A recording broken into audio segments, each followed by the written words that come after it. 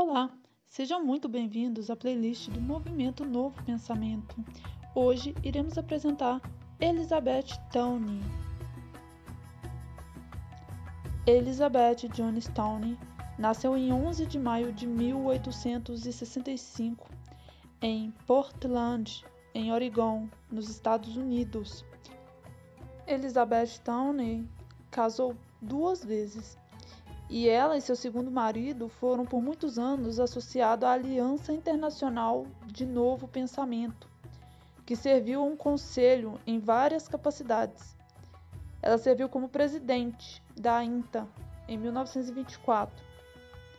Em 1926, ela concorreu e conseguiu um lugar no Conselho de Vereadores, o antecessor do Conselho Municipal de Holyoke ela seria a primeira mulher a fazer isso em Holyoke e a primeira mulher casada a obter uma posição em um conselho de vereadores no estado.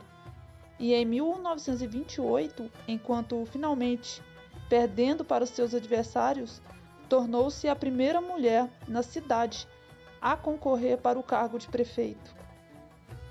Elizabeth era fundadora e editora da revista Nautilus, que era um diário do novo movimento de pensamento que correu entre 1898 a 1953.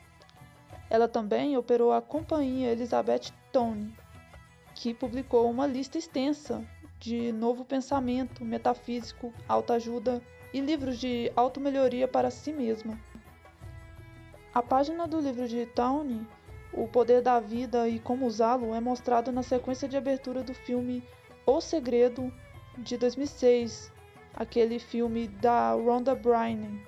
E o filme apresenta muitas das ideias que ela promoveu, junto com as de Wallace Waddles e William Walker Atkinson. Ressaltando aqui que Wallace Waddles é autor do livro A Ciência de Ficar Rico, que é justamente o livro que mudou a vida de Rhonda Byrne e inspirou ela a fazer o filme do Segredo.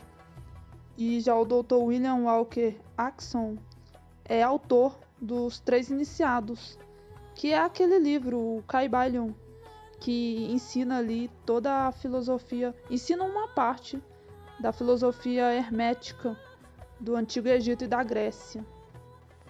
Voltando para a Elizabeth Towney, é, além de muitos artigos e editoriais que ela escreveu para a revista Nautilus durante a sua história de 55 anos, é, os livros dela incluem experiências em autocura, saúde através do novo pensamento, é, felicidade no casamento, como usar o novo pensamento na vida, é, a filosofia Joy, como acordar plexus, como cozinhar comida sem carne, você e suas forças, é, como usar um novo pensamento na vida e ela também deixou métodos práticos para o autodesenvolvimento espiritual, mental e físico. Então é isso, pessoal. Espero que tenham gostado. É, aproveitem, deixem o seu gostei nos vídeos para me motivar a trazer mais conteúdos assim porque conhecimento sempre é bom. Desde já também peço para vocês se inscreverem no canal e compartilhar o vídeo. Até o próximo. Gratidão.